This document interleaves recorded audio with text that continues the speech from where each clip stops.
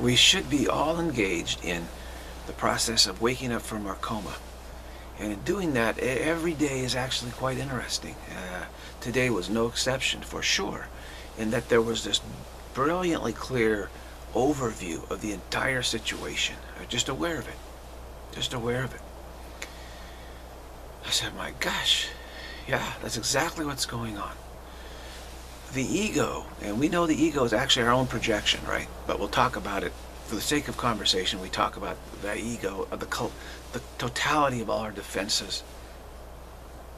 It's really our own projected will to try and uh, defeat God, be greater than God. This goal, the goal of being greater than God, cannot be reached at all. It's impossible. But so what we do is we say we're in the process of reaching it. We're evolving towards it. It's always, always, always in the future. And all we do is put these grandiose labels on the future.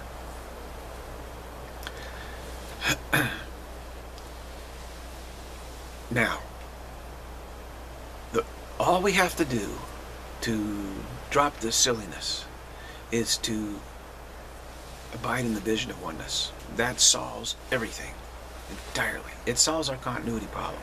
And the continuity problem means we've been at this so long, putting grandiose labels on the future for so long, and uh, that we're afraid to drop our, all our efforts. Our efforts consist of trying to incorporate truth into lies. It's like lies say, you know what, truth? No problem. Come on in. There's plenty of room for you here. Plenty of room for you here. And we're more inclusive than God. God doesn't include lies, but we, we include truth within lies. So we're, we're very superior to God that way. So all we need is the vision of oneness, actually, to cure us of this madness. So the ego's real pragmatic goal is to prevent us from having a vision of oneness. That is really what its pragmatic defenses are aimed at. because if we abide in the vision of oneness, which is actually very easy to do, that's it. It's over for this idea of wanting to be greater than God. It's finished. Zero interest in a grandiose future. Zero. So really, when we come into this world, what we experience here in a practical, pragmatic manner is actually just this all-out effort to prevent us from experiencing the vision of oneness and abiding in that experiencing. That is it. So it's no wonder that it's very rare that this ever comes about here. And then therefore we think, wrongly think, it's difficult. It's not difficult. Is that the ego is making every effort fanatically and intensely and, and, and rapidly making every effort to prevent it. That's the problem. Not that it's difficult. It is not difficult. It's easy, actually.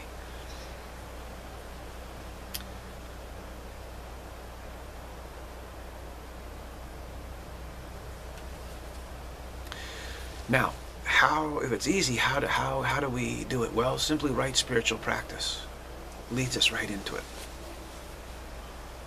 So what do you think the ego's against? Right spiritual practice. The ego's against that. The ego will substitute any and all sort of practice because it knows we want to get this vision of oneness and it knows that there's a right spiritual practice will bring it. So it says, wow, I better offer a substitute. The ego's very good at offering substitutes It says, here, try this practice. Instead of what works, here's one that won't work. but you'll, but you can attach a grandiose label to it and you say in the future, um, you know, there's a grandiose something in the future. So, all these people going to yoga, there's a yoga place nearby. You see these people? Uh, probably like 99% women are going. I, I don't think I've ever seen a man going there. and the, the, the, tights and the yoga mat and all the get up and everything. And it's like, I, I heard, I read somewhere today, like 22, the Dalai Lama was uh, at uh, Santa Clara University yesterday. Uh, I heard about it. Someone told me about it. They said super tight security, snipers on rooftops. This is unbelievable security, like you'd have for a president. Actually, the the, dip, the, the State Department's diplomatic security unit was is, follows the Dalai Lama everywhere. And the tickets, I'm sure the tickets, I think the tickets were like 900, uh, very expensive. Uh, there's a lottery for the students, and I think $900 or something. There's a third, you know, he's, he's fundraising. I mean, he's going around giving talks in Berkeley, San Francisco, and Santa Clara. Um, now, it talks about let's be a little more kind-hearted, a little more compassion in the workplace. That's kind of the gist of it. Okay, fine.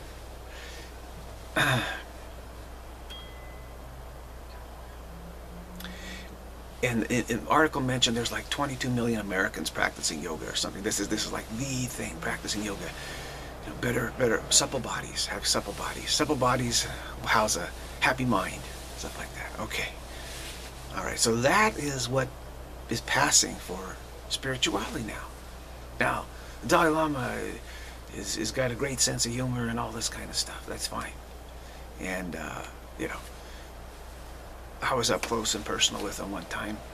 Uh, and he looked at me and just roared in laughter, you know. So I don't know what he what, what was so funny, but anyway, it's very good, very good.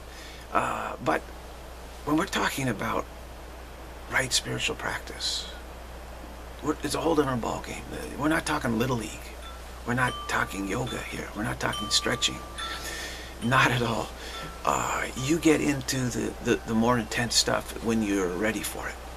Of course, in miracles, the, the, the lessons in there are right spiritual practice. I don't necessarily resonate with, with some of the some of the stuff, but usually, you, you, a lot of times you don't resonate with everything.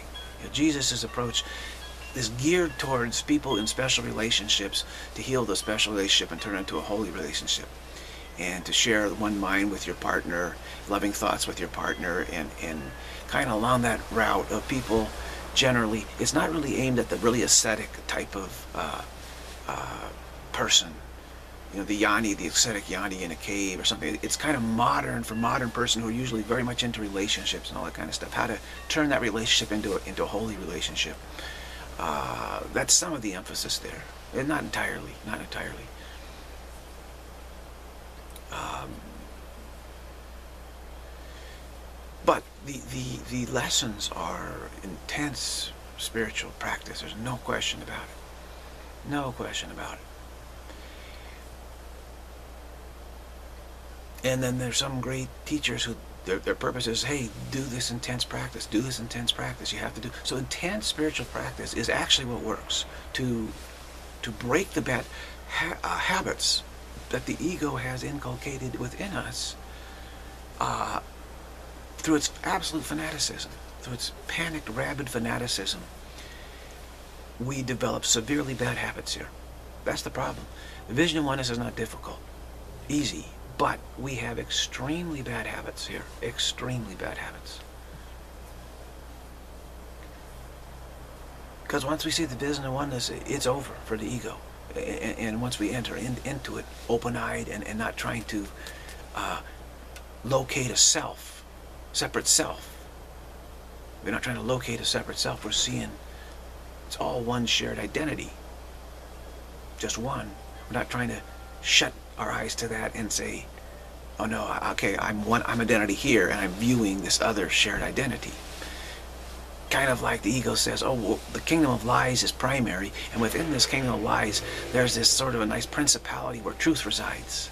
That's that's that's the ego's viewpoint. That oh yeah, truth resides in the in the kingdom of lies. Sure, sure, it's over there. So the, the ego says, oh, you saw the vision of oneness. Oh, sure, sure. That there is that principality where, where where truth resides, and within this overall greater context of lies. Sure. So it, it, it's okay to take a glimpse of it maybe, the ego says, well, and then ego then interprets it for you. He says, okay, that's great. Now see, you see how benevolent and great we are? We're greater than God. We include truth. Now let's get to work on this, uh, you know, being happy with this. so what we have to do is don't shut down to it. Don't say, wait, I'm a separate self viewing this vision of oneness. You realize you're part of it. You're in it. You're in it. You're, you're in the center of it. Everything's in the center of it. It's all the center. There's all one center. That's a fact. There's all one center. Everything is totally centered in it. You say complete centeredness. Complete centeredness.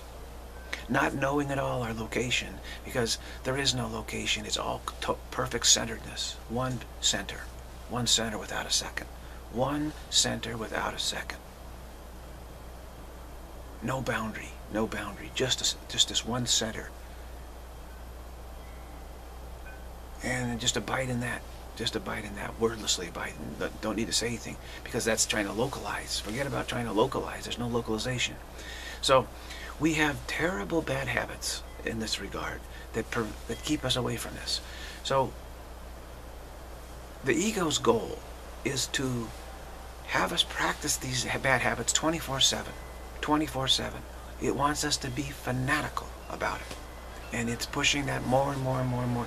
It would, the ego would love for to have you watch television 24 hours a day. It would love that because television, the, the program on television, is custom designed bad habits, custom designed to prevent you from experiencing the vision of oneness. So the ego would want you to be fanatical with, with that. When I see anything on television, I just cringe. I just just cringe. I say, "Oh my God, that's that's taking me away from good habits." And trying to get bad habits is stuck uh, started in me. I just instantly recognize it.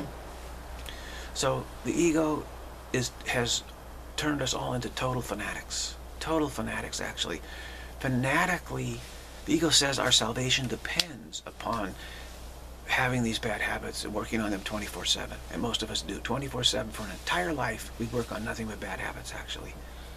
And the ego says our salvation depends upon it. If we don't do that, we're going to be annihilated. The ego says, no, it's a projection by the ego. The ego is going to be annihilated. Well, actually, the ego will be unnecessary. defending against what doesn't need defending against is simply unnecessary. Trying to accomplish the impossible is unnecessary. So we have these extreme bad habits, and that is why the spiritual path is difficult, and that is why it takes a great effort on our part, and we need to engage in these intense spiritual exercises to break those bad habits, to break those bad habits. That's it. Just we have to keep breaking those bad habits, and we have the bad habits. There's no so we say, look, I've got a severe continuity problem. That's, that's part, that includes this, all the bad habits. But the bad habits are there because of this continuity problem, the dread of, of, of uh, suddenly being non-localized, totally non-localized forever. You know, we're so used to thinking we're localized, right? That identity is localized. To suddenly see, realize there's only one identity which, whose, whose center is everywhere. Seems like terrifying to us, you know. And, and to know this, not even perceive it, at least even with perception, there's at least a, a, a plausible lo localization, even if it's just centeredness. But in knowing, there's not even that. So we're terrified of going back to just direct knowing, which we won't do. But we're going to we're going to take the intermediate step of vision of, of oneness.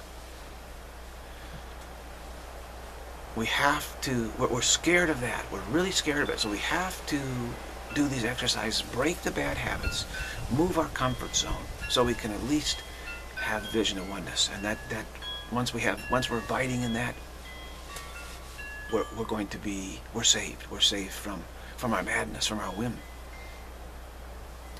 So the necessity to engage in intense spiritual practice is a necessity because of all the extreme bad habits we all have. If we didn't have those extreme bad habits, we would accept the vision of oneness like that, like that, right away. So the fact that we're not accepting it is absolute proof that we have extremely bad habits. So there's no excuse for anyone. Someone, if there's, if there's no person in the world who says, well, I don't have any bad habits, but the vision of oneness, no, I don't have that either. That's impossible. It's impossible. Totally impossible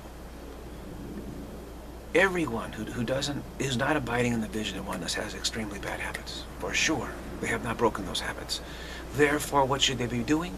Engaging in intense spiritual practice is what everybody on this planet should be doing without exception. Without exception. Anyone who says they don't is, again, just lying. It's just believing the ego's lies.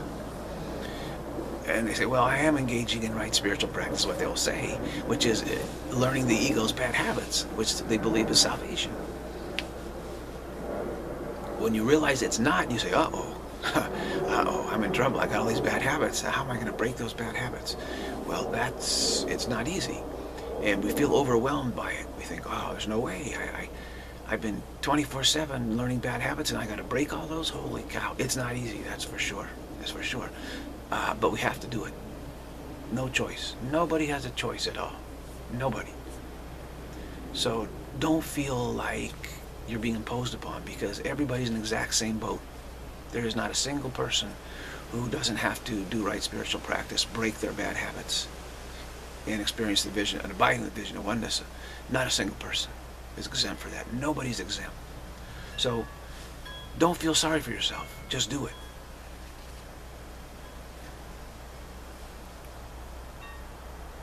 That's the only way. It's the only way don't let the ego make you feel sorry for yourself. Thinking like, oh, there's some you got some burden on you that others don't have, have to have. That's a lie. Total lie.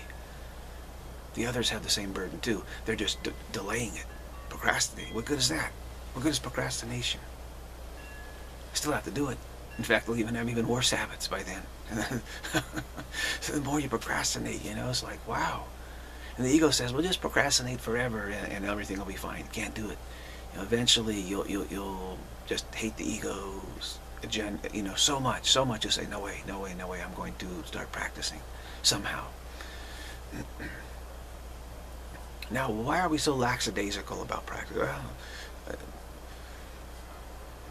be, because one, we feel several reasons. One, we feel it, it, it's too difficult because our bad habits are so terrible. We feel like it's just I don't. I need. I need a. I need a break. I really can't do it. Secondly, we're afraid of the continuity issue. We're afraid of too much success. We think if I, if I, if I succeed, oh I'm not, I don't want to really succeed that fast. I'm, I'm not ready for it. So those, those two reasons. Those are two reasons. Third, the ego is constantly trying to thwart us from our right spiritual practice, trying to distract us, trying to interfere, block us at every possible juncture. That's another reason. and you know we're just kind of lazy. We just we just uh, think that, well, maybe just wait, things will get better. Uh, that's that's another reason. Oh, there's a whole whole bunch of reasons why, a whole bunch of reasons why, and we're just lackadaisical about it. It, it affects us all. It affects all of us, really. So what do you do? Do the best you can every day. Do the best you can. Keep trying every day is all you can do. There's, there's no secret. There's no secret to it. the rare ones that are super motiv motivated, what happens? They wake up from their coma. the vision of oneness dawns upon them. Like Sri Nisarg Nisargadatta uh, Guru, uh, his master told him, do this, do this, and you'll awaken. And he trusted him completely and just did it. No questions asked every single day. Just did it, just, just totally intense. I was like, I don't know, was it four or five years or something? That's it. He, he woke up. Just like that because he just did it. It's a rare example. Rare example. obviously, he'd done a lot of work beforehand, but uh, he, he just he just knew it would work. He knew it worked. He trusted his guru. He knew it would work, and it, and it worked. He woke up. But we can we can do the same. We can absolutely do the same. Not many of us will just plow through it like that. No. I'm a tortoise. Go very slow. But getting better, getting better. you know, most of us go very, very slow. But what you want to do is you want to go a little faster than slow. You want to go a little faster, really. Uh, what I see in the world is a lot of spiritual groups, a lot of spiritual people. And what happens is they reach a consensus about how fast should they go. How fast should they go? And they all have this, you know, this this consensus. So if you, you get such a group, they're basically saying, well, we're not going to make it this lifetime. And we're going to kind of little pick at it a little bit and just kind of you know but we're not going to really succeed this lifetime. No no way no way. There may be several lifetimes. I mean they're, they're, they go slow they go very slow. Let's just kind of talk about have a little discussion and this and then we'll have a little food here a little party little food and a little social talking about our kids and school and various things and then and then okay goodbye i'll see you again next week. And then like, do it once a week or once a month or something. But if you want to succeed you got to go faster than that the Holy Spirit always told me just stay out of all that stuff. He says don't pay any attention to any groups or people or nothing. Just go as fast as you can. That's that's what I was always told. That's what Jesus told me directly. Go as fast as you can. Forget about how fast anybody else is going. Just go as fast as you can. Just go faster, faster, faster, faster. Work at it more. Be more diligent. Just go for it and totally go for it. Like your life depended on it. So I just I just stayed out of uh, all those situations entirely, and just work like work like it. You know, every single day is just all out. And even then, you know, the habits die hard for sure. Uh, the ego, ego has, has, has brought about just so many, a constellation of terrible bad habits. We don't realize they're so bad. We think they're, they're good habits, but they're not. They're not. It's very delusional. Because, again, the ego believes that that is salvation for us. And so it, it teaches us in every possible way bad habits, actually and then tells us, well, the, the, the trick, the problem we have so much trouble with practicing, so much trouble, is that the ego says, well, sure, uh, that that's, that is, that's all part of it, the bad habits. Says, don't worry about your bad habits. Truth, truth is included within that. We, we, truth's already included within lies. What are you, what are you so worried about? Bad habits? What do you mean bad habits? Doesn't matter. The ego say, no, that doesn't matter. What we need to do is we need to work to make sure that truth is included, that, that, that truth knows that we welcome it. Truth knows that we're tolerant. We want, the ego says, somehow truth hasn't quite gotten the message yet of how benevolent we are, and how wonderful we are, and how tolerant we are, and how understanding, and how progressive, and all this stuff. And, so truth somehow just doesn't quite get it yet. But we're, we're evolving, we're working, we're marketing, we're trying to help truth realize that it's welcome here and come on in. You know, for some reason, truth doesn't like like us or something. Doesn't doesn't feel welcome. Let, us keep working on it. You know. but uh, you, you know. but yeah, we don't need to change anything. You know we need to change change our bad habits. What do you mean bad habits? Those are good habits. The ego says.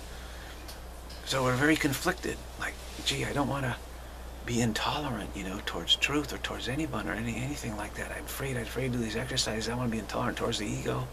You know, maybe I'm really intolerant person or something. And the ego creates all this guilt in you, all this guilt trip, terrible guilt trip. So it's just got, you feel like everything's lined up against you. Everything's lined up against you.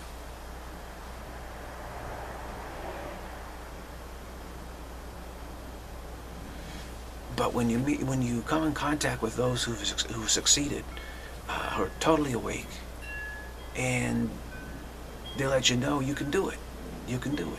Then you got you got to believe them. When they say you can do it, then you know, wow, they wouldn't have said that if it weren't true. I said, well, you know, how, how difficult it is. Well, you know, it's, it's a lot of work.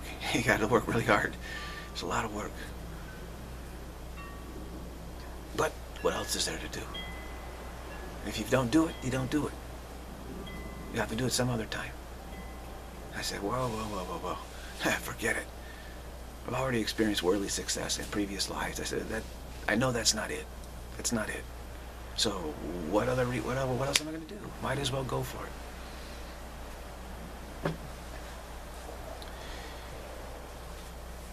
So breaking these bad habits is, is very interesting, actually.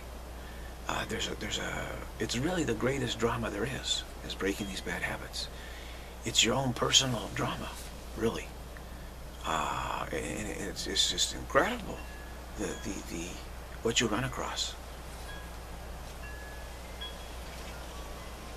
it's just like, wow, it's just, wow.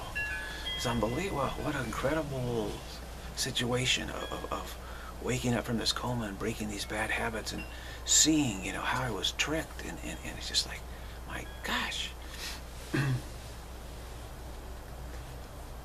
We're very clever. We've, we've been very clever with ourselves. We've been very self-deceptive.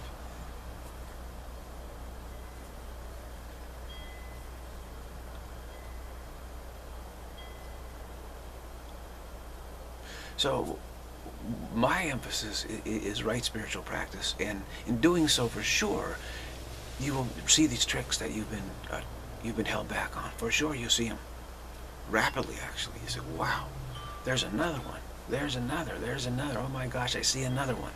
Then you know you're making progress. It, it's not about uh, well, you, you can't forego the, the, the tough work you know, of really, really constantly, constantly working at it. Have to do that.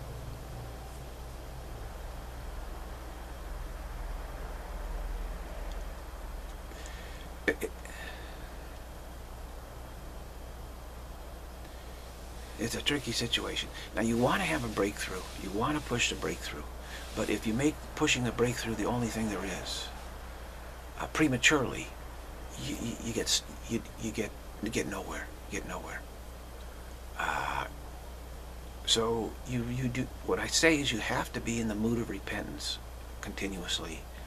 Meaning, look, I've got severe problem. I've got this incredible continuity problem. And I've got all these extremely bad habits that are defending against the continuity problem. And uh, there is simply no way I'm going to enter into the vision of oneness uh, without, you know, working at this, without working at this. You can now, you can speed it up. You can speed it up, for sure. But be realistic about it.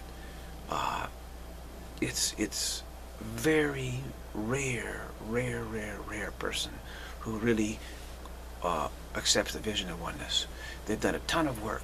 Uh, so most people who go to any teacher at all, it's all about humbly humble realization. I've got a ton of bad habits. And I just have to work, I have to work at it. I have to get motivated, stay motivated, and just keep, keep working at it. And, and try as much as possible to use these right spiritual, uh, right intense spiritual exercises, which are do aim at getting some glimpse, okay, uh, eventually. But don't don't make that your goal. Just do the practices. I mean, I've been doing practices most of my whole life actually, but but uh, recently very intensely, but it's been it's been a while, like a year. I've, I've really been working very more intensely, even more and more and more and more. And finally, I had I had some you know some breakthroughs, but it, it's don't make the breakthrough your goal. That's a problem. Just do the exercises in the mood of repentance. Okay?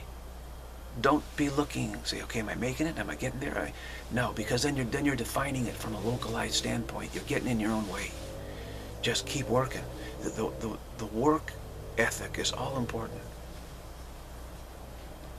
Anyone who has a great work ethic they're, they're going to succeed. Event, they're going to succeed because that's what it takes. And nothing less than a great work ethic it, it will succeed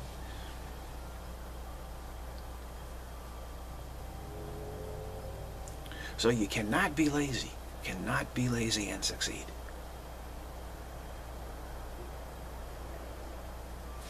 And we're just in a tough position because we have these, we already have these extremely bad habits and they don't go away of, of their own accord. We have to break those habits. We have to break the habits and keep them broken.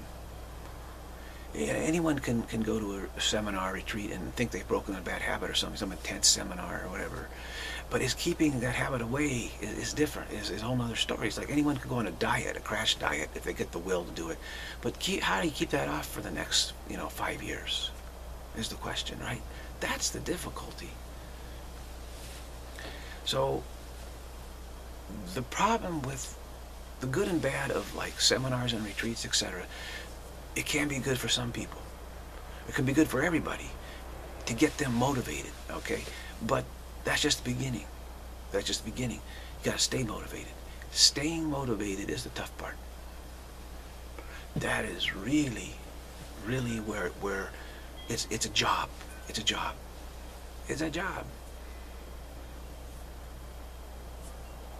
It's your it's your real career actually. You have to look at the spiritual path of wake, breaking your bad habits, waking up to the vision of oneness as your career in this world.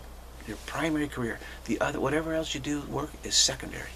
Totally secondary. You don't neglect it, but it's secondary. Always waking up from your coma, breaking your bad habits, inviting the vision of oneness. That's your career. Here. no two ways about it. And of course, the ego is fanatically opposed to that. And the ego thinks you're wicked because it, it thinks you're denying salvation from yourself and others because when, when you give uh, devotion to awakening from, the, from breaking your bad habits, see, the ego sees those habits as, as your salvation. So the ego thinks you're working against your own salvation and other salvation. So it sees you as evil. The ego will see you as evil when you do that and, and think that you need to be cured from that, for sure.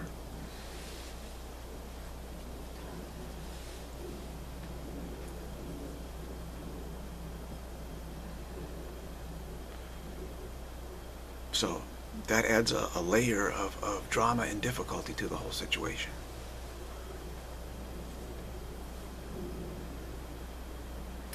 And many of us accept that compromise. The ego says, look, look, look, look, look, look, look. It's okay. Your truth's already included in lies, so you just have to make this compromise. Let, you know, let's do it both ways. Isn't that not a problem? But let's fashion something that, that pleases both. Let's please both lies and truth. That's what we're all about here, the ego says. We're, we're able to please both lies and truth. No problem. If you can't get that, well, then we need to work on that. See, that's what we need to work on, the ego says. Pleasing both lies and truth. Making both of them feel welcome. Making both of them true, as it were. Uh, of course, lies is primary. Primary. So the ego says, sure, sure, that you need to work on that. That's a higher goal, better goal. It tries to, you know, kind of lure you away from your right spiritual practice at all times.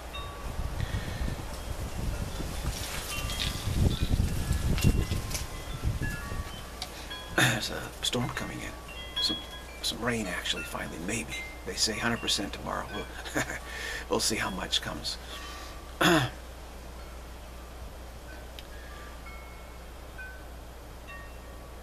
so it's a it's a it's a very difficult path in that you have to stick with it. It's a job, it's a career. You have to take it seriously. It is your profession. It is your profession. And so you take it seriously the way you would take like, you know, some very important profession. You would take it very seriously. You want to be the best that possible you can do. And, and you have to look at it that way. That it is a profession. You're going to do the very best job possible and take it with utmost seriousness.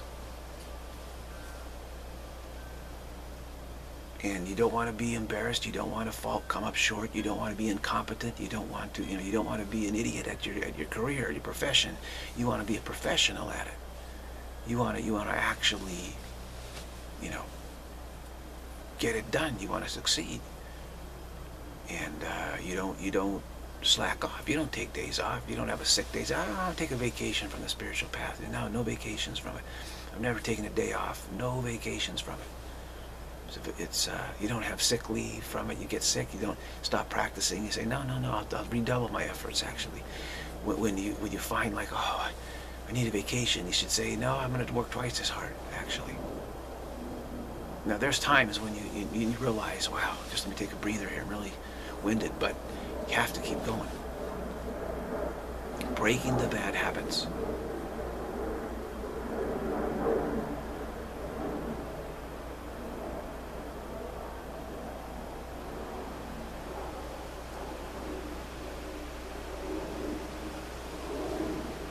And you'll see the bad habits. You'll see what they are. You'll just say, oh, wow, wow. If the ego wants me to uh, believe that both truth and lies are true, and wants my mind to adjust to that the new reality of both truth and lies being true and, and then we're supposed to adjust our mind to that we're supposed to adjust ourselves to that well split mind right split mind Really, the ego promotes split-mindedness, which of course promote, promotes confusion and anxiety. Anxiety. Very much so. The ego promotes anxiety. It's the, the practice of the ego promote anxiety. And we run into the situation where we say, well, I don't know who I am. What that really means is I'm identifying with the body too much, my localization too much, and therefore I feel very isolated and not aware of a greater identity. See, that's the problem. The ego wants you to only be aware of, of yourself as, as, a, as a physical body in a specific location. And then you think, I don't I don't know what I am or who I am because you feel so tiny and small and insignificant. It doesn't even, you don't even matter. Then you feel very anxious, etc. A lot of reasons anxiety comes up uh, from the ego's practices. We have an anxiety epidemic uh, in, uh, in, the world. I, I asked uh, somebody today who's from a small Mexican village in the mountains, and I already knew the answer I was going to say. I said, look, do you, do you know what anxiety attacks are? Anxiety attacks. We were talking about anxiety attacks. Now we have anxiety attacks. So many people, young people, having terrible anxiety attacks. It's just unbelievable what's going on. And he said, I said, are there any anxiety attacks in your village that you're from? I said, he says, hmm, what?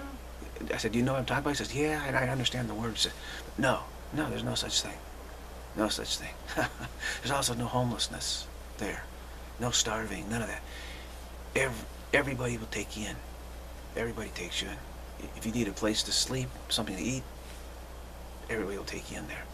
And there's no anxiety attacks there, actually, which is interesting.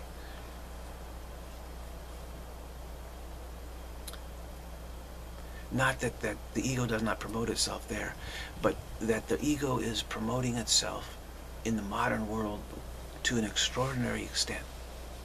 So much so that the split-mindedness that we're getting is getting severe, very severe. It's an acceleration, it's an acceleration that's happening, and it's crushing the young people. A lot of young people are getting crushed. Uh, I feel very uh, bad for them. Uh, having been through it myself, it, it's just, it's vicious, and the ego is absolutely vicious right now. It, it's you know, it's showing its fangs. The ego's showing its fangs. It's becoming fanatical, the ego. It wants to wipe out right spiritual practice on this planet. It wants to stigmatize everybody who engages in it. So everyone can be turned to its spirit practice, which it says is salvation. Which is what? Split-mindedness. Which is avoiding, ultimately, it's a negative thing because it's, it's all about avoiding the vision of oneness. It's an avoidance. It's a life of avoidance.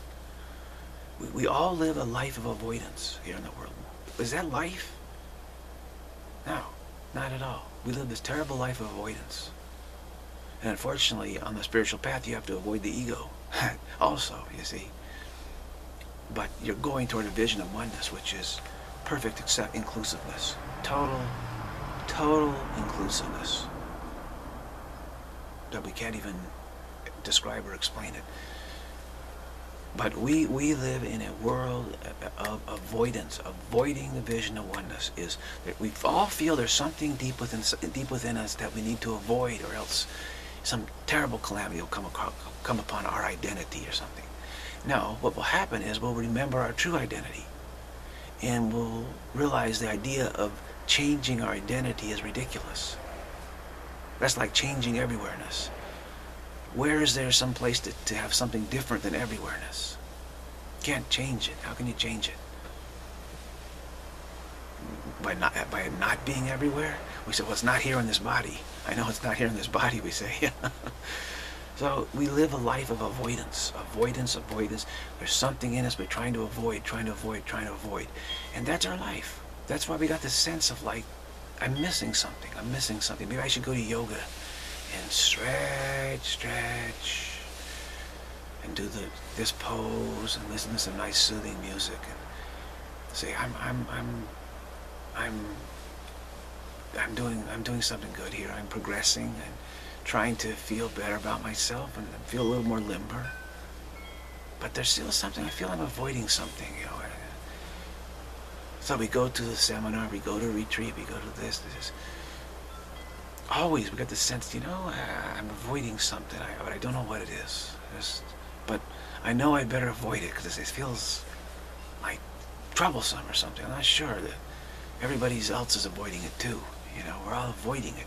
Well, what are we avoiding? The vision of oneness is what we're avoiding. Guaranteed that's what's it. The secret is out of the bag. It's, it's right here. You've just heard it.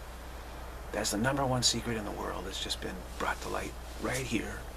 And we're avoiding the vision of oneness. That is what we're avoiding. That is it. Nothing else other than that. That is it. Because what in, in the sea, gosh, this is what I've been avoiding. this is it. And said, holy cow. No wonder, you say, no wonder the ego's scared of this. You know, I don't need an ego when I'm seeing this. I don't need a localized self. I don't need, the ego's all about localized self, localized self, localized self, tribalism, tribalism, tribalism, localized self, body self, body self, body self, body mind, body mind. You know, you are the body mind, but don't worry, you can stretch and be a happy body mind. Nothing wrong with yoga, right? No. Stretching's good, but this the is the ego's interpretation of it.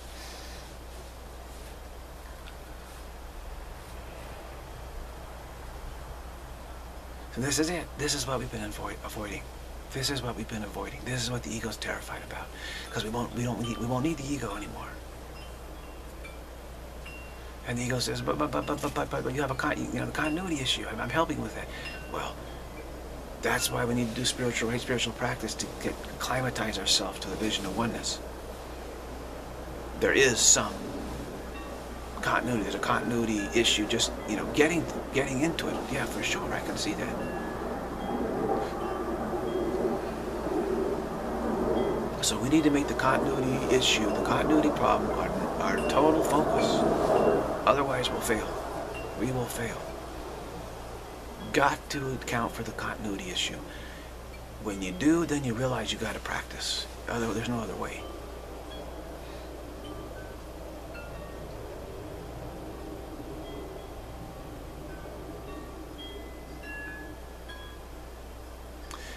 We don't need a localized identity. Localized identity becomes like a shadow. You know, like, we're walking along the street, there's a shadow's always with us, right? But we never, never identify with it. We don't say that that shadow is me, eh, but it's there. Well, you know, it doesn't bother us, does it? Who gets bothered by their shadow? I've never been bothered by my shadow. I don't think anybody has unless they're really just being whimsical. It's the same thing in the vision of oneness. Your, your, your localized identity, your body's still there. It's like a shadow, though. It's just like a shadow. You don't get bothered by it. You're not bothered by your your body identity because it, you, it, you're, you're experiencing the total, perfectly non-localized, totally centralized identity that there's only the center. There's no distance from the center. It's all perfect center, centeredness, perfect inclusiveness, perfect, perfect supportiveness, perfect acceptance. Without any distinction of, of, of where location or action or location or anything like that. The dance doesn't matter. It's, it's, it's just perfect inclusiveness, perfect inclusion, non-localized, totally non-localized, totally non-localized. No, no, see, it's not like you're non-localized and somebody else is. Somebody else is special, but you're not. No, nothing is localized. The identity is non-localized for everything. It's non-localized for everything. We all share in this perfect non-localized identity. And that's fantastic. It takes all the pressure off of everybody, of everything. Totally the pressure's off. So what do we need the ego for? To, uh, to, to give us habits of a localized identity. We don't need it anymore.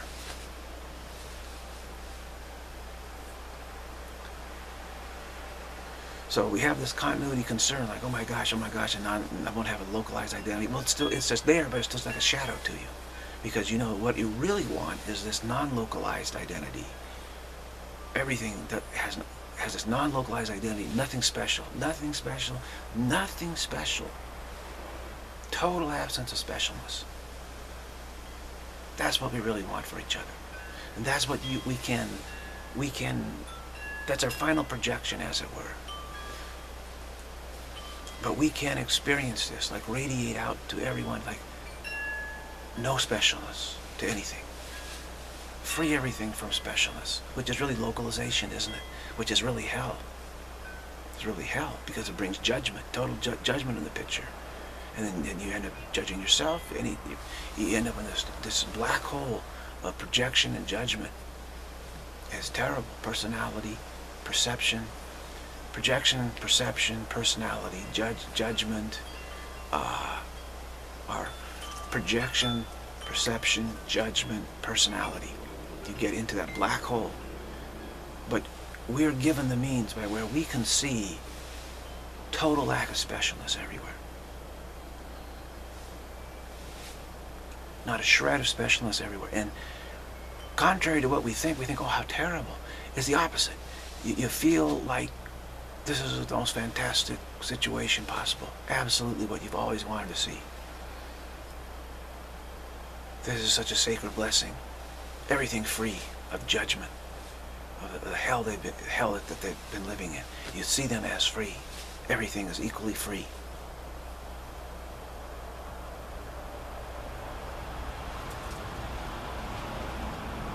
It's the most wonderful, wonderful experience. And it's absolutely there for us.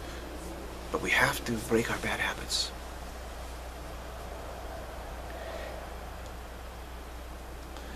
And of course, we're always looking for a better way to do it. The ego's very tricky in saying, why did I just wait till version, you know, 2.3 comes out? Or, you know, wait for the next smartphone. It's going to have an app on it. Don't don't practice now. Why are you practicing now? In in in a year's time, and th there's going to be this something gadget come out and be easy for you. Why waste your why this effort when you don't need to? The ego always tells you that. So I always said, you know, that's great ego. If you come up with something, let me know. In the meantime, I'm going to practice as best I can with what I got.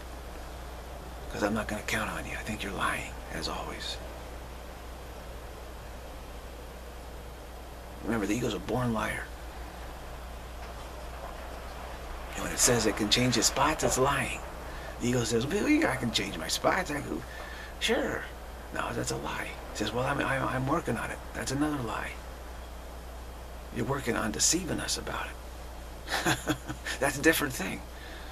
Sure, the ego's working, but it's working on deception, not on, on changing its spots, because it cannot. It cannot. It's our own projection. See, the ego doesn't know it's our projection. It doesn't know. It doesn't know that. Projections don't realize they're projections. It's, it's the one projecting that has to realize it, not the projection. So the body's projection, all this stuff, don't expect success there at the level of what is being projected.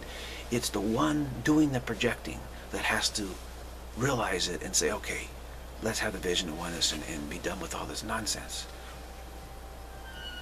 Instead, the ego, not knowing it's a projection, insists that it, it no, I can do anything. I can change my spots. I'll just deny that I have them.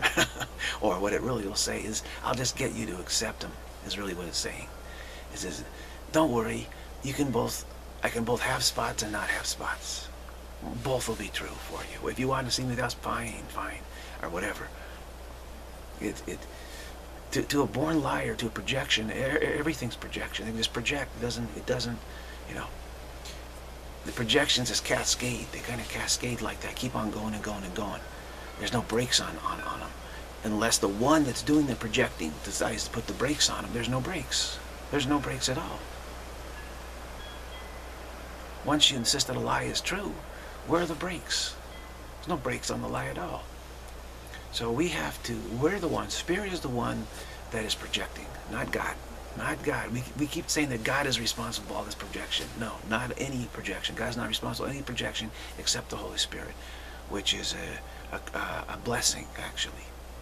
But it's something that we can relate to. That we're so used to projecting, we can relate to the Holy Spirit. You might call it the final projection. The projection that makes all projections unnecessary. The anti-projection. Whatever. But spirit is the one that is projecting, not God. God is not, and, and the ego says, no, God is doing it too. Said, no, that's not true. God is not projecting at all. No.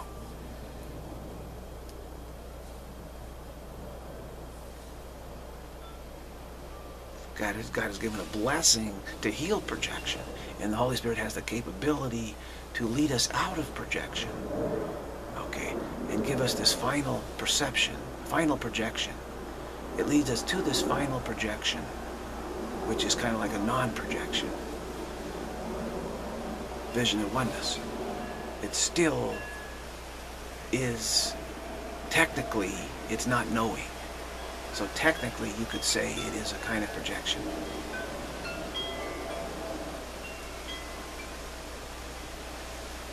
But it's more like, like again, that the projection is merely just a faint shadow. It's a faint shadow. So it's a pragmatic, it's a prag pragmatic step. So God acknowledged that we have a need of a pragmatic step is what God did. That's all that God did. That's it. Nothing more than that. You can't make more of it than it is. The ego tries to play with it. There's nothing to play with. There's just this prag one pragmatic step that God says, yeah, this is you do need that uh, because of the continuity issue. Pra pragmatically, you need it. Don't, so don't let the ego make more of it than, than it is. Try to say that, that that somehow you know that means something about God or something. No, it does not. It does not. It means something about spirit, in that we have chose a uh, whimsical idea is what it means. That's what it means. We need to let go of that idea.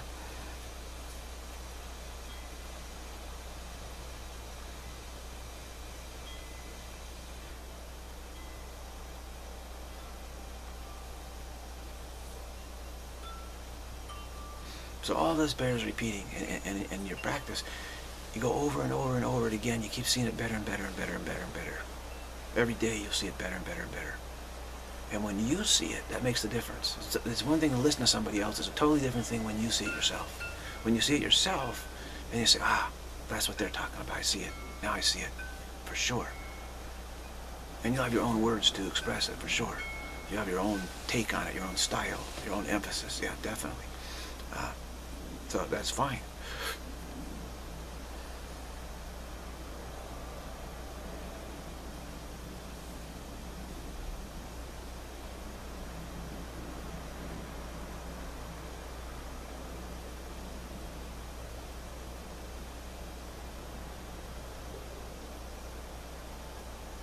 Now, once you get very far along and you start having a glimpse of the vision of oneness, then it may be possible to really make that your goal and, and push strongly towards it. But I'm not certain about that.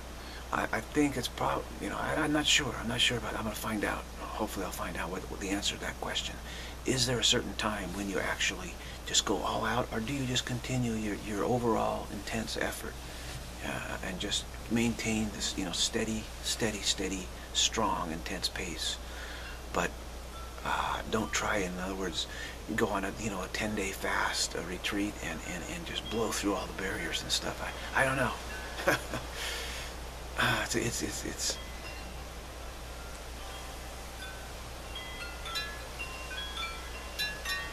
that's something to be determined.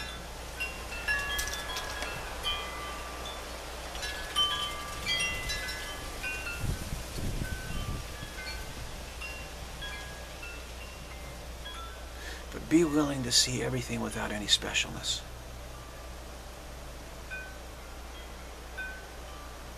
And you will be amazed. You will be amazed at how, how glorious it feels.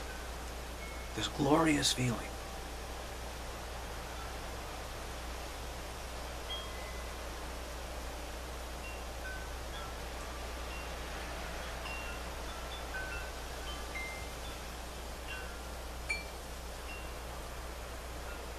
Subtle, subtle feeling.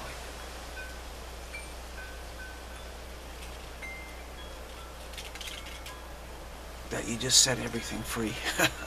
what you really did, you set yourself free. by reminding yourself of reality, which is what you're being reminded of when you see vision of oneness, no vision of no specialness.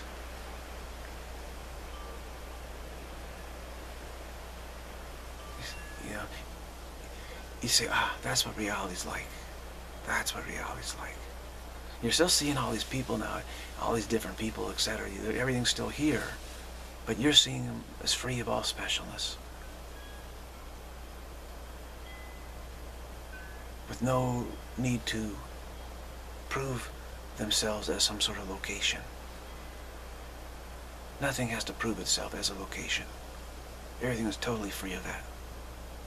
Yes, there are locations for everything, but there's zero need to prove prove it.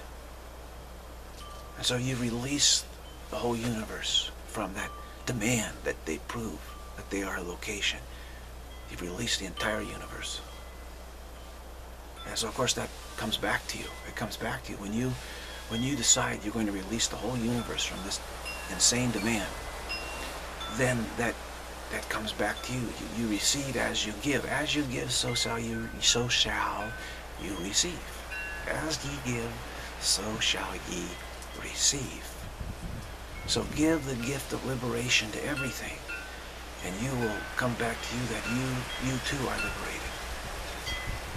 Because it's all one. And what you give to you give to the one, you too experience, you receive.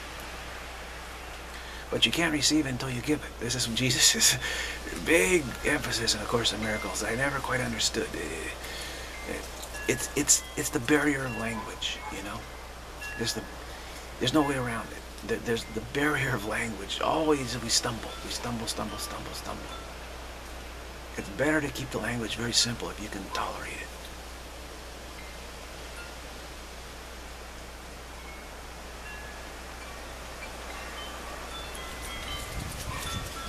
But we're putting this into the actual application is that you see everything free of all specialness. And seeing that, it, it comes back to you. And you receive it too. And it's, look, it's like you're looking at paradise. Paradise found, actually. Paradise found. So your salvation comes when you give salvation to everything in the universe. Without exception, without any exception. That's when you, you, you find yourself in, paradise. That's when you find yourself saved. Liberated.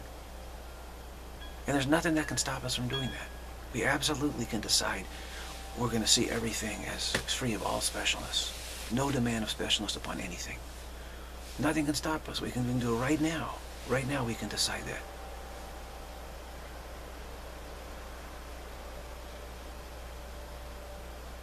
And then we find that we, there's no, no demand for specialness on us either. and, and we're free. We're free. So enlightenment means not like I'm trying to enlighten myself. I'm trying to enlighten myself. No. It means give enlightenment to everything in the universe. That's what it really means. And then you shall experience enlightenment, total enlightenment of everything, including your presumed, your demand on yourself to be some, uh, some, something special. I remember growing up, what, what is the number one demand that I got everywhere? You're very special. You need to be someone special. We're here to make you special. We'll help you be someone very, very special. You're very, very special to me. I know you're going to be someone very special. right? It's like, ah, you know, I don't want that. No, no, no, no, no, no. That's, that's what it's all about in this world with the ego's training. You're someone very special. And so are they. And together, we're special. And let us celebrate our specialness. Let us celebrate our unique specialness, and let us let us really make sure we make uh, we help everybody else be really special too. exactly opposite of the Holy Spirit's teaching.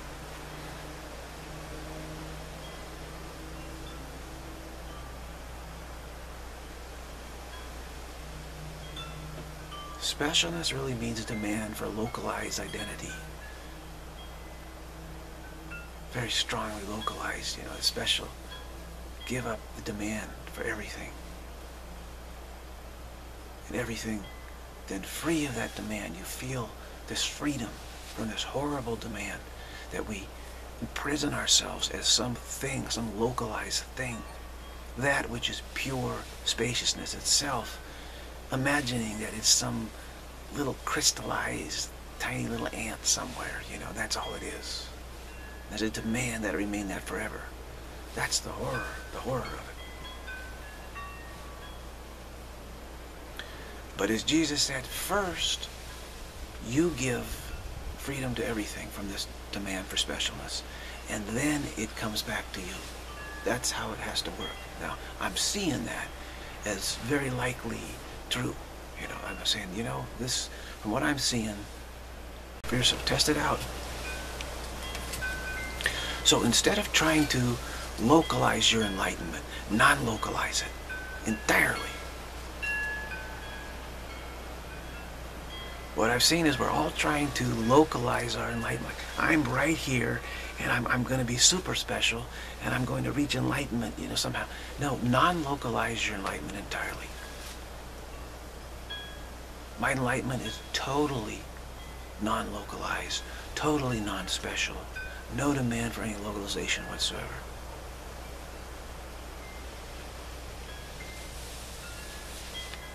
And see how that see how that works.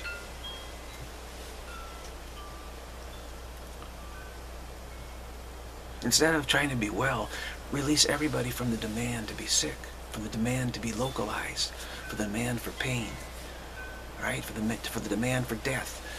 Free them from all the demand for specialness, for localization.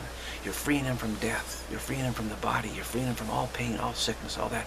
And then see what the feeling it is comes back to you from that. The whole universe, whole universe. Don't localize it.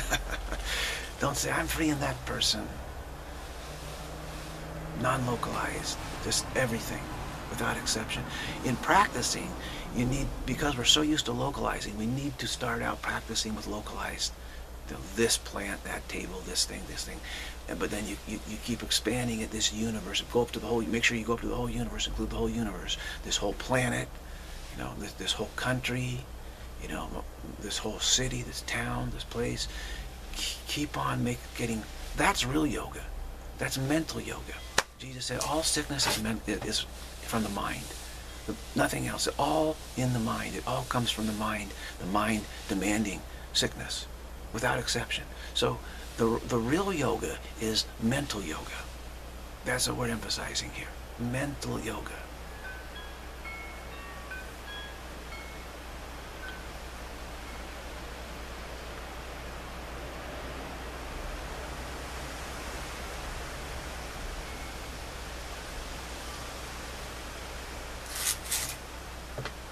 That's what works. So if you want to be free of death, pain, suffering, etc., release the whole universe from your demand that it be this way. And see how you feel then.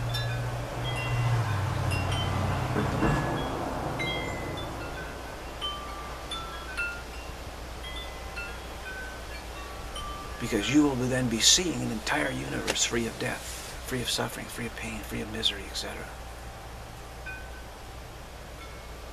you'll be experiencing a complete non-localization, total centeredness of everything.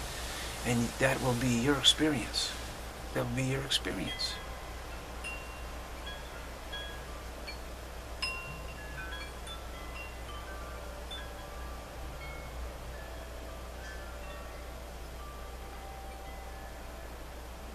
Got a nice little chime concert going on here.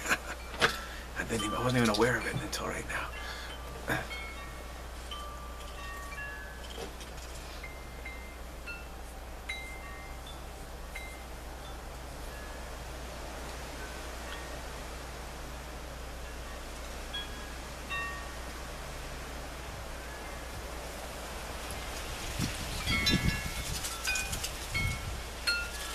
you can accept all this and, and you see it and accept it, then, you know, it, it really becomes very possible. That's how I feel is it's going to happen at some point. I'm, I'm on the brink of it. So maybe I will come across some guru or teacher or something at some point. It's possible. They can say, okay, let me take you under my wing and I'm going to put the, the final push on for you. I'm going to help you at some point. I, that's possible because I'm not really that scared of it at this point. You know, I, I agree in principle to it all.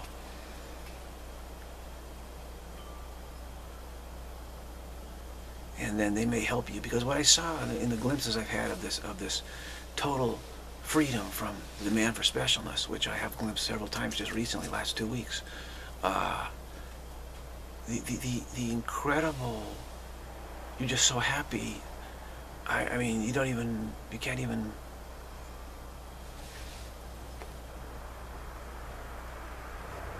it's like the greatest good news that there could ever possibly be. You know, there's no scale for it.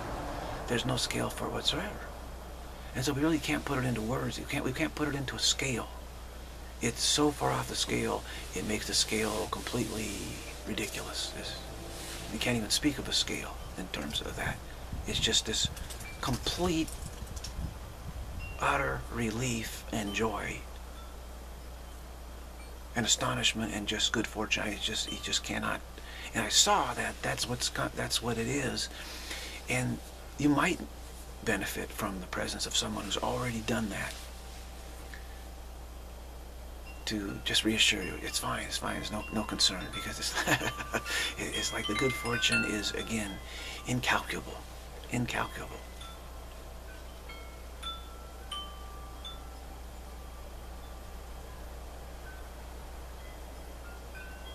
So I don't know what's going to happen. I never do. Yeah, so hopefully, hopefully something will happen. Uh, maybe it helps, maybe it doesn't. I'll find out. But there's no question that this, this is this is it. This is what the practice aims at. As you take the, the demand for specialness, localized identity, you take that off of the entire universe without one exception, not even a single exception. That is the key. No exceptions. And Jesus is very adamant about this. In your practice, do not make any exceptions. Don't make any special inclusions, but don't make any exceptions. Don't, for sure.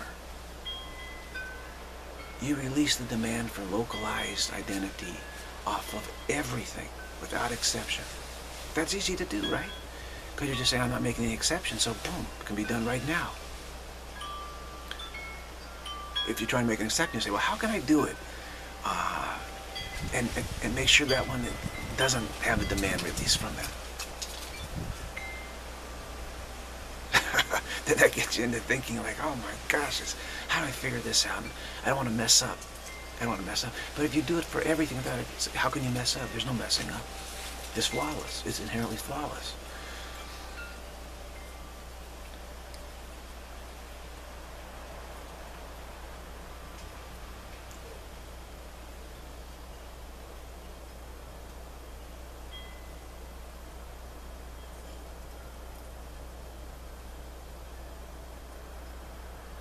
The expression on, on, the, on the great saint's faces, I can now see where it's coming from. There's no question about it. I can see very clearly where it's coming from. That's I said, oh, that's what the expression they have. They have this expression of just tremendous.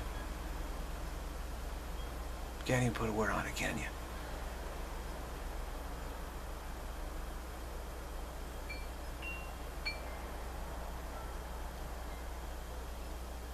That's where it's coming from. Just that.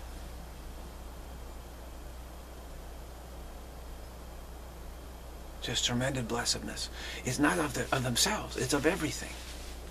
They, they're kind of like, they just like in this warm embrace sort of, uh, uh, uh, of this total freedom and security and everything. It's just, there's just something, everything is perfect. And they're, and they're, and they're just in the midst, in the center of it just in the, just sitting in the center. And no matter what they do, they can't get out of the center. They're always in the center of it. Everything's in the center of it. And, and, and so it's like a shared happiness is what they have. This expression of the shared happiness, total shared happiness with everything. That's the expression. You realize it's not their own personal happiness. It's some kind of shared happiness.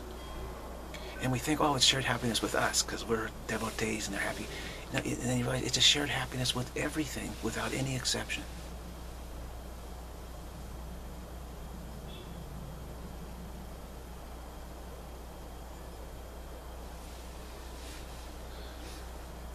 And that's right there for us. All we have to do is extend this freedom to everything.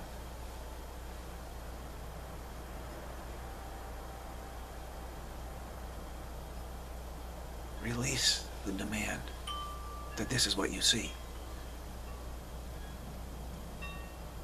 Release the demand that this is the universe you see, a bound universe, and you will see a free universe.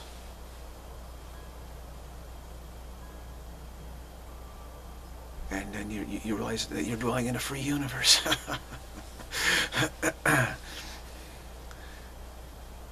you're, you're living in a universe where everything is totally centered in God. Eternal life. You're living in an eternal life universe. So of course you're, you're very happy to be there.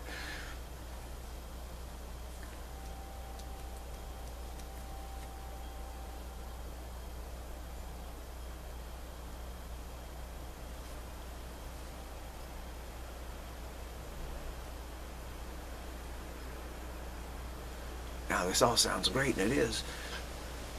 Uh, and on the pragmatic side, you know, we struggle to, to get this. I mean, I've struggled for so long to try and get this. It just seems so difficult. But I can tell you for sure that doing, making the continuity problem, saying that's my only problem, being in the mood of repentance, saying that I don't have that problem, I have a continuity problem. In other words, all the problems of specialized, specialness, localized identity, specialness. I say, I don't have that problem. I don't have that problem. Insist, I don't have that problem. I only have a continuity problem. That's it. For sure, that, that is what's helped me the most.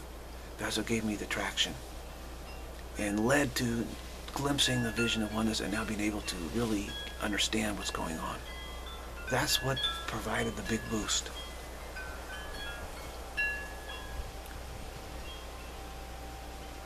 Whatever problem arises, you deny it. I, I don't have that problem.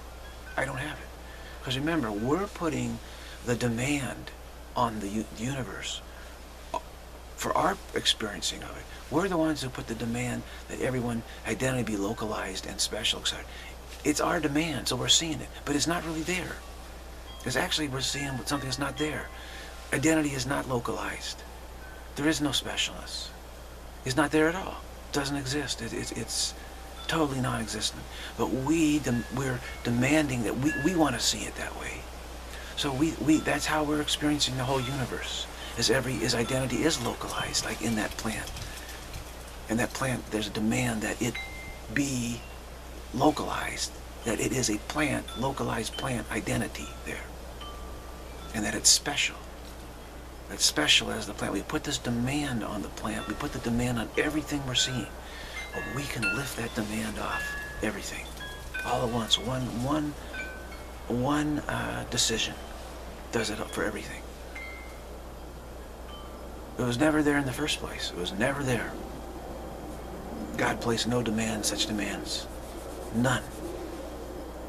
But it's just us, so we lift our own demands off of the universe.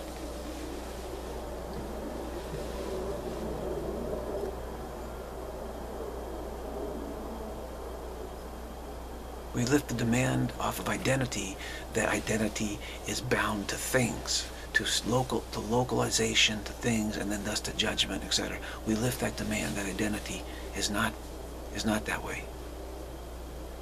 That God is not that way.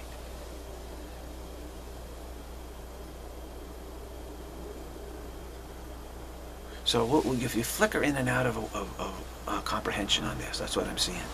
Sometimes a little more clear, then it kind of gets a little fuzzy, etc. It flickers in and out. So you just say, okay, just keep working at it. And of course, using words is very difficult. But then people say, if you don't use words, they say that's too difficult too. So, uh, what can you do? You got to you got to use some words.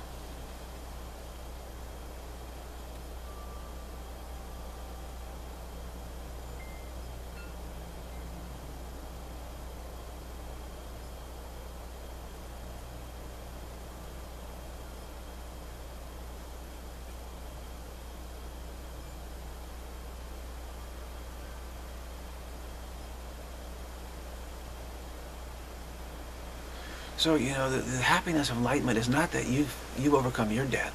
It's that you, you've lifted death off of everything. You see what I'm saying? Why it is so profound. I, I, was thinking like, where, you know, I'm, I'm going to experience my enlightenment. Instead of that, I, I experienced the enlightenment of the whole universe. That's why I'm saying the riches are so great. You say, wow, everything's enlightened. Everything's free of death. Everything is eternally happy and blissful. So that's why it's so profound. That, that's why it's very profound.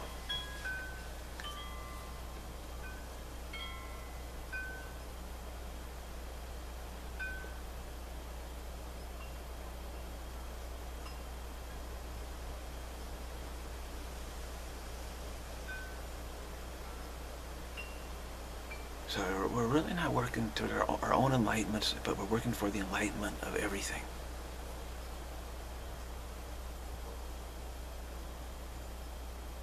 And the ego says, oh, that's so difficult. Isn't it easier to enlighten yourself? no, it's easier to enlighten the whole world, the whole universe, because all it takes is one decision. We're simply deciding we're no longer going to believe that what, what isn't there is there.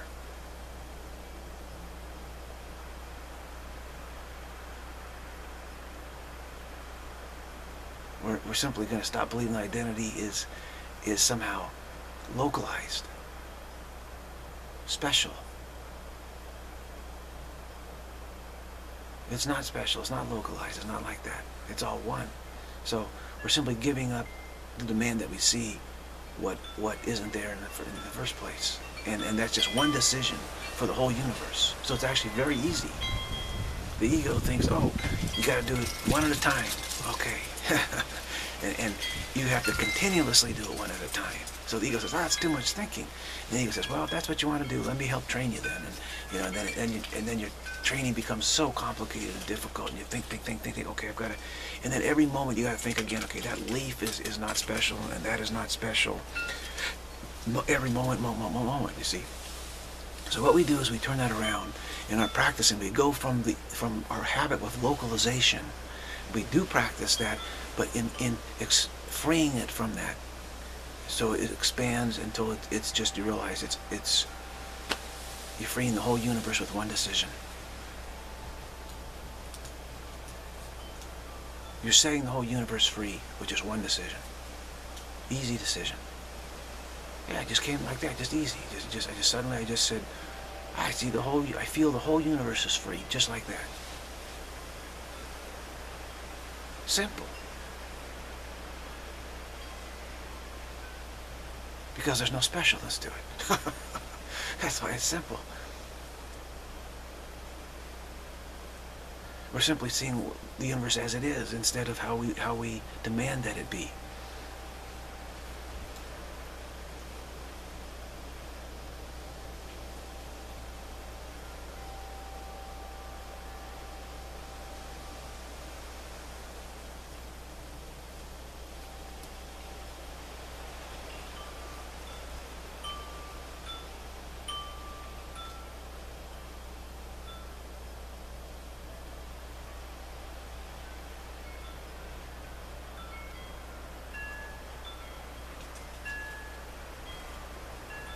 And the marvel is, you will marvel like, my gosh, I just set the entire universe free. And, and, and, that's the, that's what like shocks, the shocks like, that's incredible, right? It's amazing, right? Totally amazing. of course, it, it already was free, but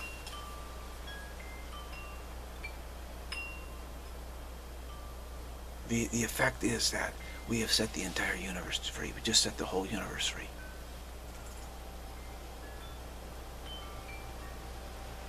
In our mind, it is now free. See, in our mind, it is now free. So that's very profound.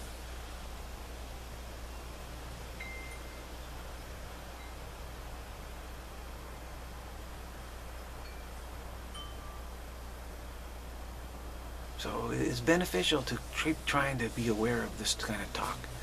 Uh, it, it gradually it sinks in, gradually, and don't worry if you if you can't quite get it.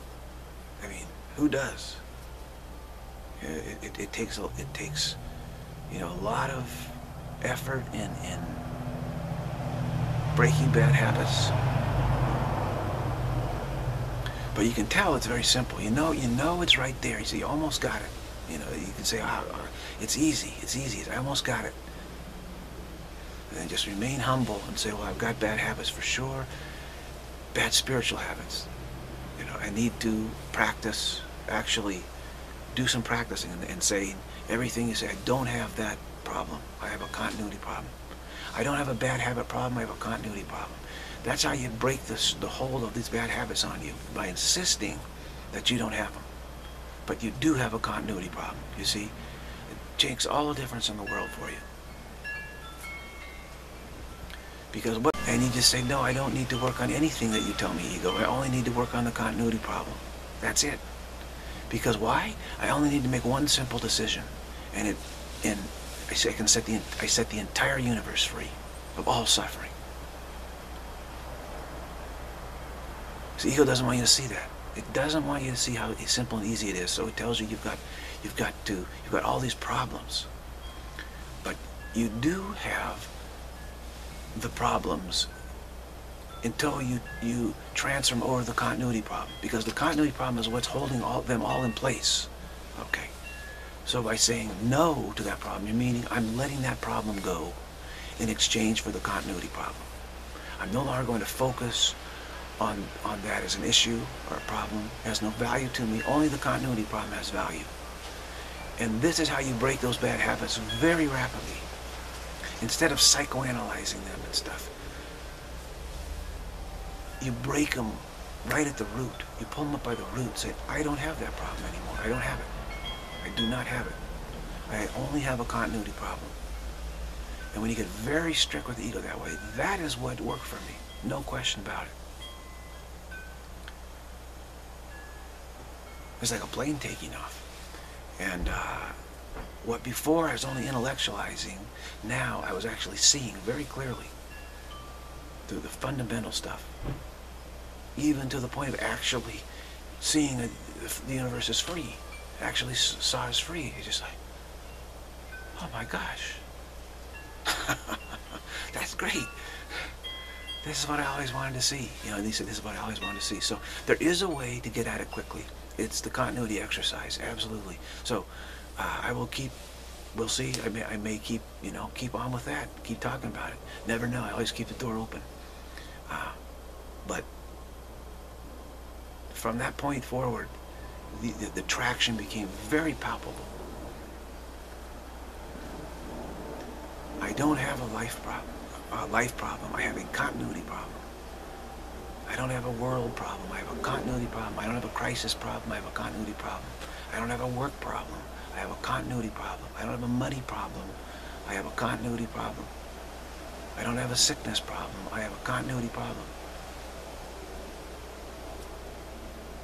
So you're no longer working. Why work on a problem you don't have? Right? So you're telling yourself, I'm not going to work on any of that stuff because only need to work on the continuity issue. Remember, our bad habits are all designed entirely to keep us away from focusing on the continuity issue and accepting the vision of oneness. That's, that's all they're about. So you just say, no, I don't have that problem. I'm going to focus on the continuity problem and, and the resolution, which is the vision of oneness. And when you do that, you can then you can quickly see see see how it how it is. It saves you lifetimes and lifetimes of, of, of struggle, actually. Just from that continuity exercise can save you lifetimes of effort.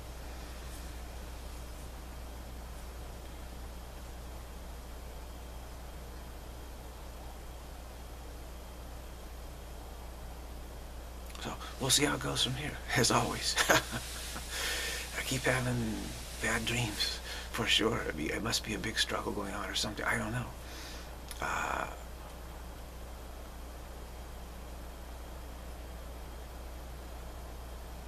but sometimes when, when you when you really make progress, somehow there's some kind of backlash or something. Uh, because maybe the ego's not happy what you're doing. it says we got to do immediate surgery on this on this one. There's something terribly wrong with their brain, right? You, you know, uh, talking this way, setting the universe free. They must be crazy. Must be something very, very sick in their brain. We must do emergency surgery or something. That's possible. Or it could be dealing with the world is actually feeling that it's time to do radical surgery on the world brain, world mind, which is what I think it is about, is, is the ego feels it's time to, it has the capacity now to do radical surgery on, on, on the world mind, to eradicate the God part of the mind. They, they, they, they think they pin God down to some area of the brain, actually. The, behavioralist and reflex specialists and all these, you know, stimulus response specialists, body specialists, they say, ah, we know where God is. It's in the brain. And we're going to cut it out. We're going to neutralize that part of the brain, then everybody will be happy because they won't be bothered by this hallucination, this crazy hallucination and stuff, and these grandiose ideas of being able to set the whole universe free, you know, and this kind of stuff. So the ego is, is getting ready to do this radical mental surgery on the planet. That, that's how I interpret the dreams.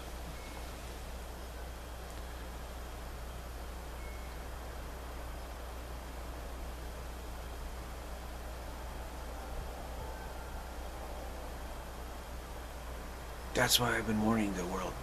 Warning, warning my whole life. I say that we're going to get to a point where this is going to happen, where the ego is going to decide that it has enough knowledge and technique, etc., to literally try and do mental surgery on the planet. Okay? And I know there's some of you know what I'm talking about. What we're talking about here, actually. Because this is a mutual thing, where we're just in this sharing and sharing of all this there are these advanced techniques that the extra, extraterrestrials have actually helped the, planet, the planet with this. Designed to do a, a radical mental surgery on the whole planet simultaneously.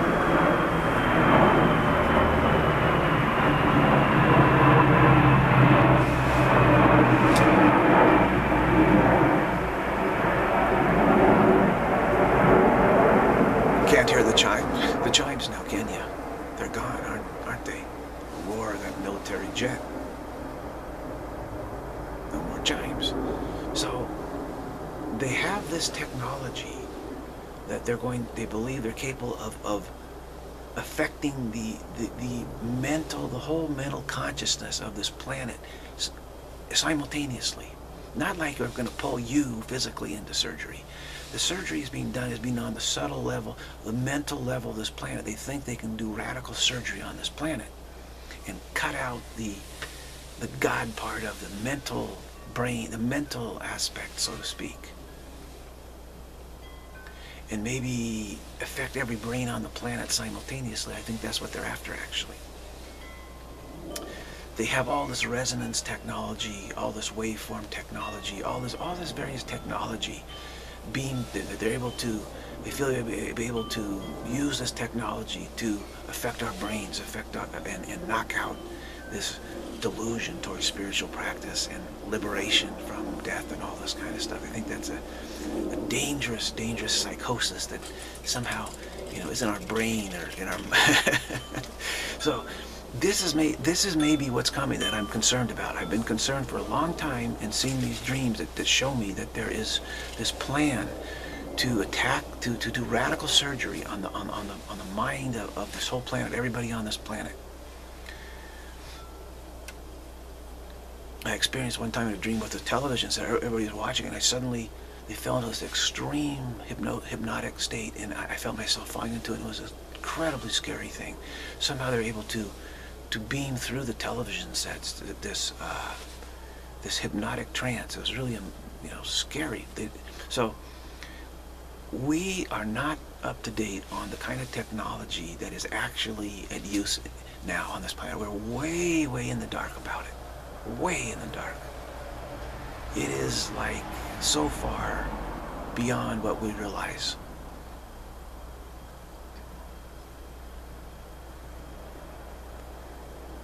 And it's kind of like the, the medicine field right now, right? It's so beyond, we go in there and they scan you with the MRI and, you know, they, they have now um, GPS and like brain surgeons G GPSing you, you know, the location of everything they're like super sophisticated, more and more super sophisticated. But that is just the tip of the iceberg. On a, on a global scale, there's also called global medicine of trying to influence the whole planet at this, simultaneously. And I believe that, that they've made super advances in that. So that they're going to try and do that. Try and do that.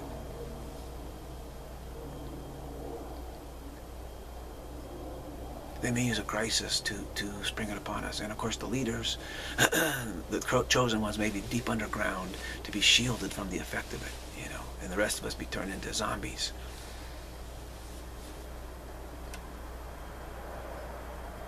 Definitely concerned about that.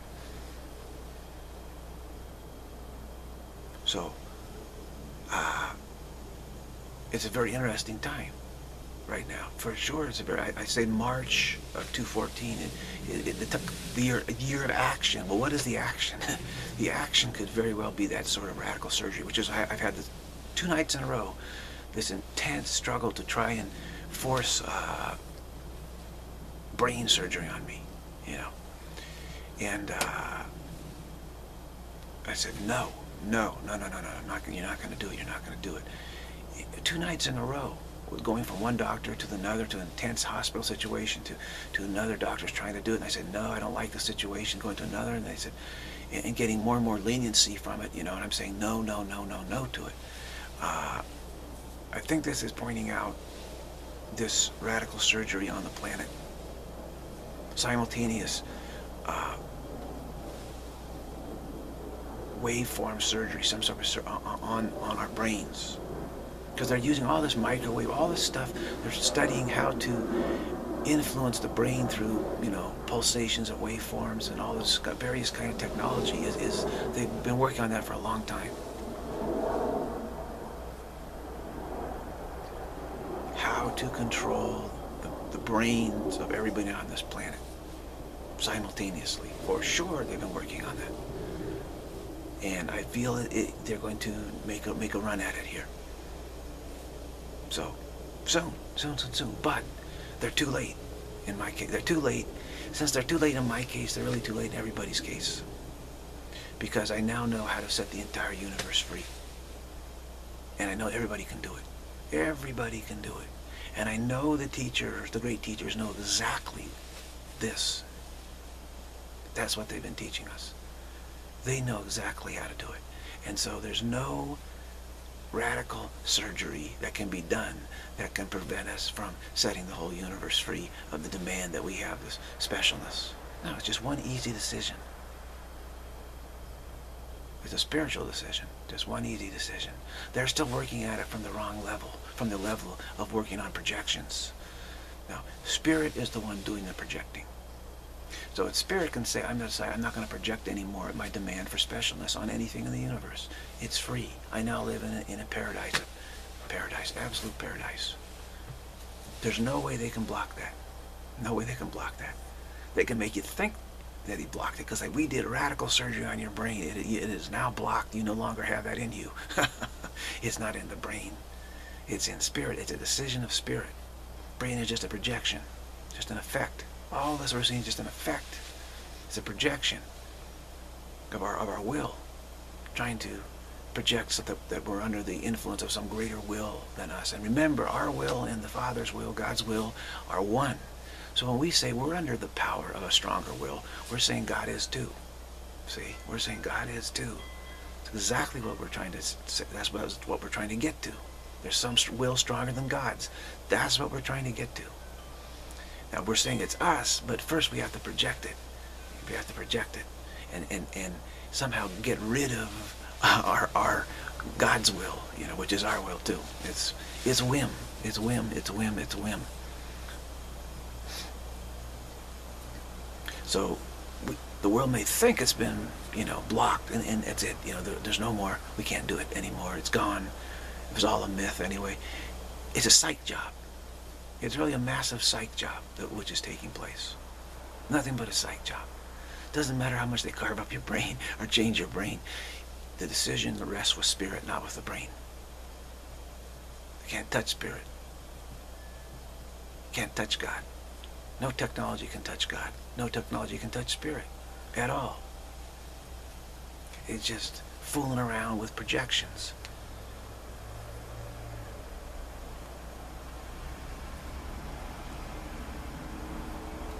So the next day, I'm sure, is going to be a very, very interesting one. Eh, this is this is really incredible. This is this is the news channel right here. I'm telling you. I said we need a better news channel, some better story. This has now become the news channel because this is what's really taking place. You know, this is where you're getting the real news of, of, of the whole situation that we're in. So, you know, I'm like a reporter. This will be a very interesting day tomorrow and going forward, I'm telling you. Just reporting the news here. The real news. All right. With that, signing off, and we'll see you, see you tomorrow probably, right? All right. Thanks for watching. That's it.